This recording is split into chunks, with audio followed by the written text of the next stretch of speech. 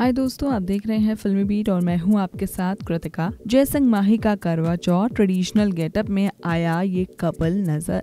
माही विज और जय भानुशाली, करवा चौथ पर परफेक्ट कपल लग रहे थे, जगमगाती रोशनी के बीच दोनों सेलेब्स ने चाँद का इंतज़ार करते और चाँद को देखने की तस्वीर शेयर की है। इनमें जय और माही दोनों एक दूसरे को कॉम्प्लीमेंट कर रहे हैं। गोल्डन वर्क के साथ सिल्वर कलर के लहंगे में माही काफ़ी खूबसूरत दिखी। हाथों में मेहंदी और कानों में झुमके पहने माही का लुक शानदार था। जय भानुशाली ने भी गोल्डन कुर्ता पजामा के साथ पीकॉक ब्लू कलर का फ्लोरल जैकेट कैरी किया था। इस ट्रेडिशनल अवतार में जय भी काफ़ी जच रहे थे। बालकनी में रखे सोफे पर चाँद का इंतज़ार करते हुए उनकी ये तस्वीर बहुत प्यारी है। इसमें माही जय के कंधे पर सिर टिकाए नज़र आ रही हैं।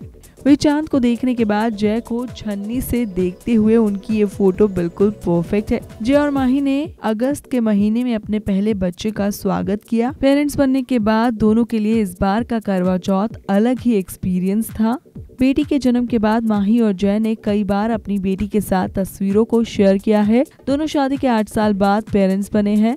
जब जब मिलता है माही और जय को अपनी बेटी का फ़ोटो शेयर करने का मौका, वो कोई भी मौका हाथ से जाने नहीं देते। यहाँ तक कि इन दोनों ने अपनी बेटी का नाम भी फैंस के सुझाए नामों में से रखा है। और तो और जब माही विज प्रेग्नेंट थी तो वो अक्सर सोशल मीडिया पर अपने फैंस के साथ अपने बेबी बम की तस्वीरों को शेयर करती रहती थी। माही विज का बेबी शार पार्टी भी काफ़ी खास रही थी। इसमें भी कई सेलेब्स शामिल हुए थे।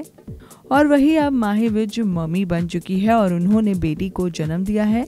और अब ऊपर से माही ने अपने पति जय भानुशाली के लिए करवा चौथ खास अंदाज में रखा। फ़िलहाल तो आप हमें कमेंट बॉक्स में बताएँ कि आपको माही और जय की करवा चौथ की ये तस्वीरें कैसी लगी। इस वीडियो में इतना ही, लेकिन आप हमारे चैनल को सब्सक्राइब करना ना भूलिएगा।